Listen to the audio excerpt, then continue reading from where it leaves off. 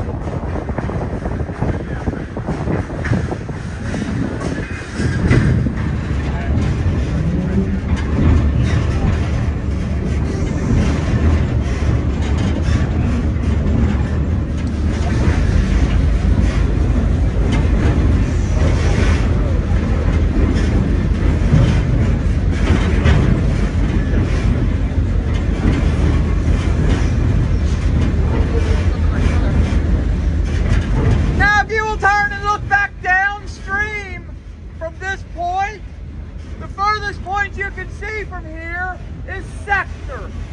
That is where we stop the train to let you out in this car. At this point, you are approximately halfway through the trough. No wide angle, Cap. 0.5.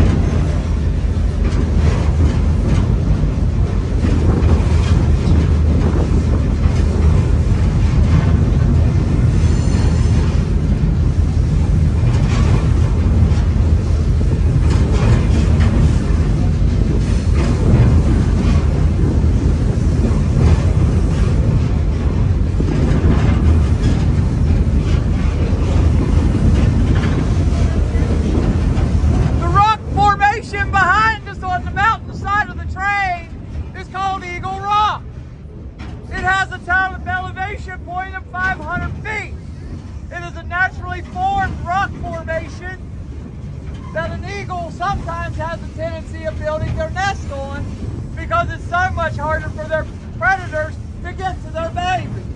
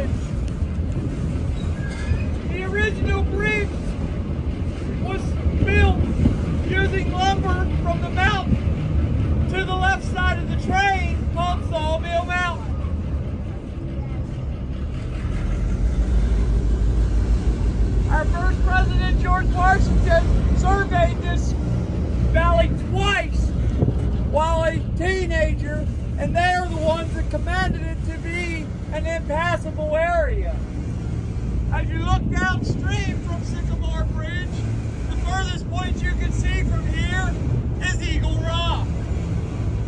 Sycamore Bridge is the official end to the trough.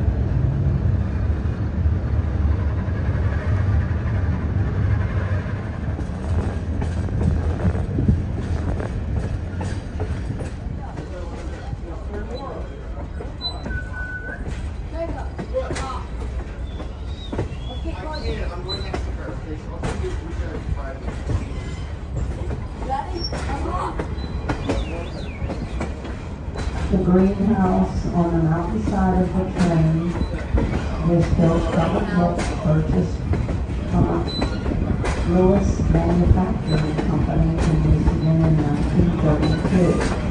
That kit was brought in on the South Branch Valley Railroad.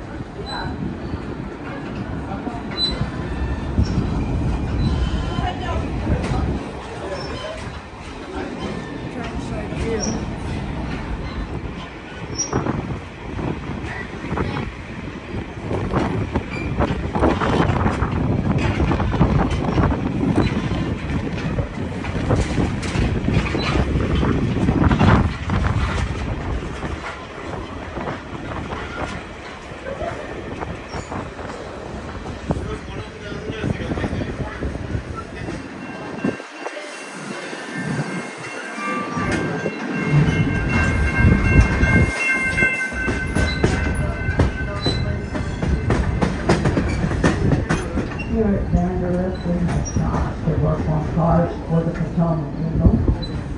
And we have a done car in those shops that will be refurbished for use with the Potomac Eagle.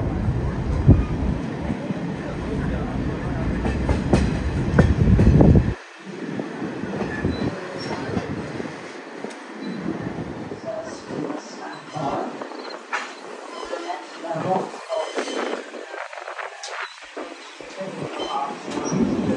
The third level is cleaning dining. Cleaning dining has a three-tier patio, so as to reflect the numbers of food available in different rooms. All of our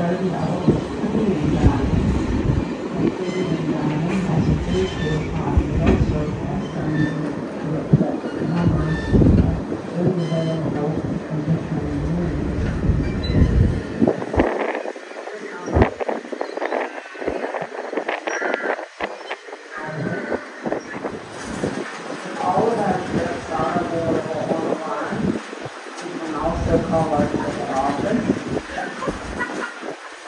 We have,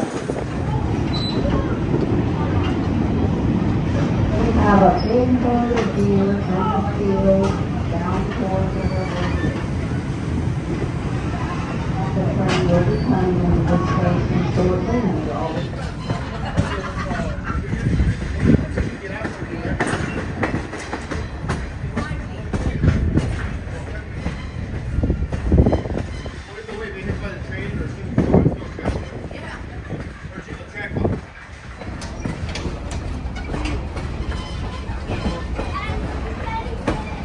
We have deer right in the field next to the train out toward the river.